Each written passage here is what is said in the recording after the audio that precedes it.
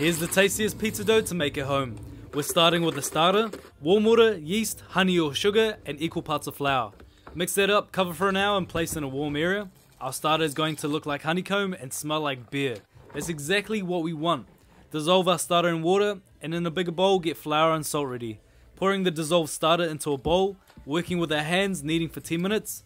It's going to get sticky, you can use a little bit of flour, rub them together, but just keep kneading, it'll come together.